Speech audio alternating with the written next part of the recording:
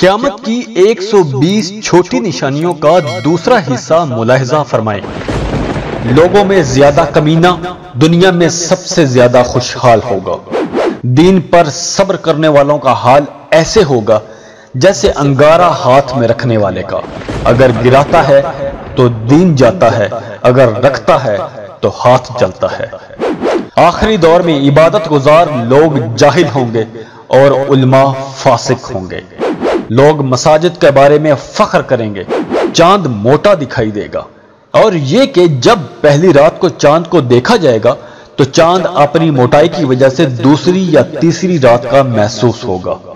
मसाजिद के अंदर रास्ते बनाए जाएँगे। यानी मसाजिद में से आमदो रफ्त का सिलसिला शुरू हो जाएगा और अचानक अमवात ज़ाहिर होगी। बारिश की कसरत होगी और खेतों की कमी होगी। नेक लोग एक एक करके दुनिया से रुखसत हो जाएँगे। घटिया लोग खजूरों की भूसी की तरह बच जाएँगे। नेकी रवायती होगी और परहेजगारी बनावटी। शर पसंदों और शरारतियों की भरमार होगी। झूठे को सच्चा और सच्चे को झूठा समझा जाएगा। बेगानों से दोस्ती और करीबी अजीजदारों से बेगानगी और कता रहमी का सलूक किया जाएगा। हर कबीले का सरदार जैसे वडेरा साई चौधरी मुनाफक होगा। और बाज़ार फासिकों और फाजरों से भरे हुए होंगे। घर मोहल्ले इलाके में मोमन की हैसियत बकरी के छोटे और जलील तरीन बच्चे जैसी होगी। मस्जिदों की मेहराबें खूबसूरत रंग बरंगी बनाई जाएँगी लेकिन दिल वीरान होंगे। मसाजिद मज़बूत और पुख्ता बनाई जाएँगी और मिंबर बहुत ज़्यादा ऊँचे बनाए जाएँगे। वीरान शहरों को आबाद किया जाएगा और आबाद शहरों को वीरान किया जाएगा। गाने बजाने के आलात आम होंगे और शराब कसरत से पी जाएगी। जना से औलाद बहुत ज़्यादा पैदा होगी। आजकल आप देख लो, मगरबी ममालिक में यह मंजर हर जगह देखा जा सकता है। जहाँ बॉयफ्रेंड गर्लफ्रेंड का कल्चर आम है, वहाँ बगैर नकाह के औलादें पैदा की जाती हैं। झूठी गवाहियाँ आम हो जाएँगी। झूठी गवाहियाँ देने वालों को कोई शर्म नहीं होगी और शहादत हक को छुपाया जाएगा। शराब आम होगी और उसका नाम बदल बदल कर पिया जाएगा। जैसे कि आज के जमाने में इसके मुख्तलिफ़ नाम रखे गए हैं। सूद को तजारत का नाम देकर हलाल करार दिया जाएगा।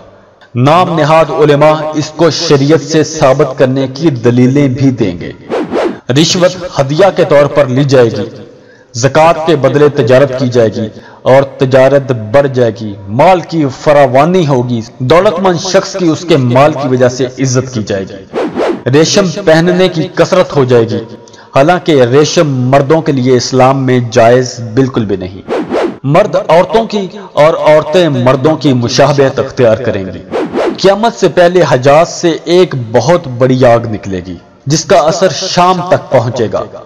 इलम हजाज मुकद्दस की तरफ़ पलट जाएगा। एक ऐसा मौका आएगा कि सरजमीन अरब पर, जो रेगिस्तानी इलाका है, सर सब्ज और शादाब हो जाएगा।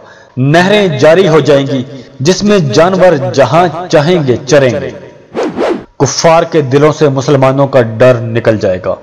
कुफार मुसलमानों पर हर तरफ़ से टूट पड़ेंगे। औरतें लिबास पहने हुए होंगी। लेकिन फिर भी नंगी होंगी। यानी बारीक और तंग लिबास पहनेंगी। आजकल आप अपने बाजारों में जाकर देख लें बिल्कुल ऐसे ही लिबास पहन के औरतें घूम रही होती हैं। अल्लाह ताला की कुदरत से एक लश्कर सरजमीन मदीना के करीब ज़मीन में धंसा दिया जाएगा। जानवर यानी कि दरिंदे इंसानों से बात करेंगे। लोग मुसीबतों की वजह से मौत की आरज़ू करेंगे। यहाँ तक कि आदमी कब्र पर से गुजरेगा और कहेगा कि काश मैं इस कब्र के अंदर होता। हर्ज ज़्यादा हो जाएगा। पूछा गया कि हर्ज क्या है? तो रसूल करीम सल्लल्लाहु अलैहि वसल्लम ने फरमाया कि कत्ल, कत्लो गारत बहुत बढ़ जाएगी। समंदर में शयातीन बंधे पड़े हैं, जिन्हें हज़रत सुलेमान ने बाँध रखा था। वो समंदर से निकलकर लोगों को कुरान पढ़कर सुनाएँगे, यानी दीन की बातें करेंगे। मस्जिद में कोई अमाम नहीं मिलेगा जो उन्हें नमाज़ पढ़ाए। तुम अमीर मोमिनीन को कत्ल करोगे और आपस में एक दूसरे से जंग करोगे और तुम्हारे बदतरीन लोग तुम्हारी दुनिया के वारिस होंगे। शैतान इंसान की सूरत में शक्ल बदलकर लोगों के पास आएगा उन्हें झूठी बातें बताएगा लोग उसकी बातों को फैलाएँगे। उनमें से एक कहेगा कि मैंने ऐसे आदमी से सुना है कि जिसका चेहरा तो मेरा जाना पहचाना है लेकिन मैं उसका नाम नहीं जानता। जैसे आजकल आप देख लो सोशल मीडिया भरा पड़ा है। सोशल मीडिया पर कोई भी बात फैल जाती है लेकिन उस बात की असल हकीकत का पता किसी को नहीं होता कि ये बात कहने वाला कौन है और ये बात फैला कौन रहा है और ये क्यों फैल रही है। भाई भाई को कत्ल करेगा, लेकिन उसे मालूम नहीं होगा कि वो उसे कत्ल क्यों कर रहा है। मिंबरों के खतीब ज़्यादा हो जाएँगे और उलमा का झुकाव मालदार और अरबाब हुकूमत की तरफ़ होगा। वो उनके लिए हराम को हलाल करार देंगे और उनकी ख्वाहिश के मुताबिक फतवे जारी करेंगे। मर्द औरत की तरफ़ मायल होकर महज पैसे के लालच में उससे निकाह करेगा। कता रहमी आम हो जाएगी नाहक माल ले लिया जाएगा। नाहक खून बहाए जाएँगे, सवाली चक्कर लगाएँगे, मगर उन्हें कुछ भी नहीं मिलेगा। किताबुल्लाह पर अमल नहीं होगा। ज़मीन लपेट दी जाएगी। इसका मतलब यह है कि दूर दराज के सफ़र आसान हो जाएँगे। जैसे आजकल हवाई जहाज़, ट्रेन, बसें वगैरह पर हम दिनों का सफ़र घंटों में कर लेते हैं। तकरीरें करने वाले झूठ बोलेंगे। हक के खिलाफ शरीर लोगों का साथ देंगे। ऐसे लोग जन्नत की खुशबू नहीं सूंघेंगे लोग जानवरों की तरह रस्तों पर औरतों से जिना करेंगे। औरत दिन में खुल्लम खुल्ला जिना कराती पाई जाएगी। कोई उसे बुरा नहीं समझेगा। उस जमाने में जो लोग उन्हें सिर्फ़ इतना भी कहेंगे कि रास्ते से थोड़ा हट के ये काम कर लो तो ये लोग उस जमाने के एतबार से सैदना अबू बकर सद्दीक रज़ी तला जैसे नेक लोग होंगे। दिल एक दूसरे से अजनबी हो जाएँगे। लोगों की बातें मुख्तलिफ़ हो जाएँगी। एक दूसरे के मुँह पर बात बदल बदल के करेंगे।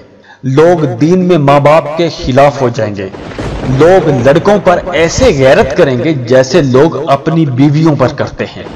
अल्लाह ताला की तरफ़ से तीन चीज़ों की कमी हो जाएगी। हलाल का रुपया पैसा इलम जिससे इस्तफादा हो अखुवत फ़ी सबीलिल्लाह।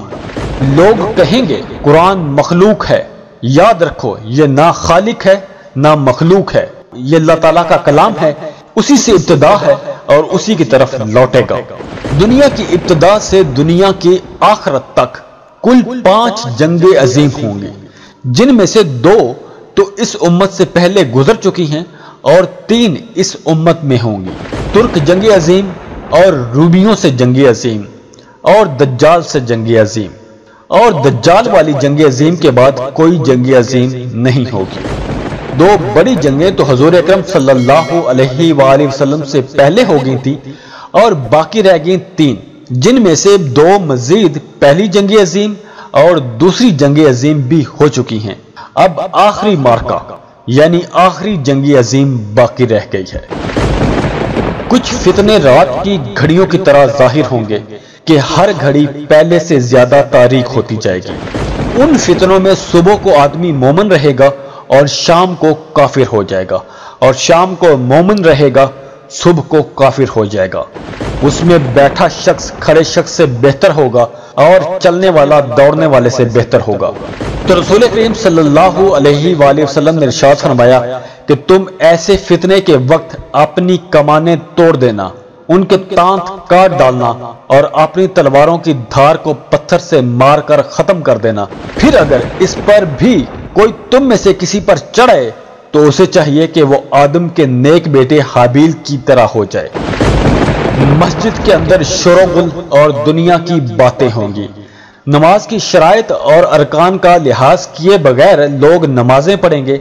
यहाँ तक कि 50 में से एक भी नमाज़ कबूल नहीं होगी। शाम में बिगाड़ हो जाएगा। हदीस पाक में इरशाद है। रसूल सल्लल्लाहु अलैहि वसल्लम ने फरमाया जब अहले शाम तबाही बर्बादी का शिकार हो जाएँगे तो फिर तुम में से कोई खैर बाकी नहीं रहेगी। आज आप देख लो कि शाम में हर तरफ़ तबाही ही तबाही है।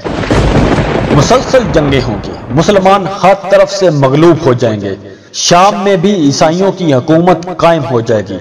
और छोटी निशानियों में से आखिरी निशानी यह है कि लोगों के दिल में ख्याल उठेगा कि इमाम मेहदी अलैहिस्सलाम को तलाश किया जाए। और इमाम मेहदी का जहूर कुर्ब क्यामत की बड़ी अलामत में से पहली बड़ी निशानी होगी। अहदीस की रोशनी में ये तमाम छोटी निशानियाँ थी। और जब ये तमाम अलामत ज़ाहिर हो चुकी होंगी तो हज़रत इमाम मेहदी अलैहिस्सलाम के जहूर के बाद अलामत कुबरा का सिलसिला शुरू हो जाएगा। जाते जाते वीडियो को लाइक ज़रूर कर लें, इन्फो चंक्स को सब्सक्राइब कर लें और बेल आइकन पर लाजमी क्लिक कर लें।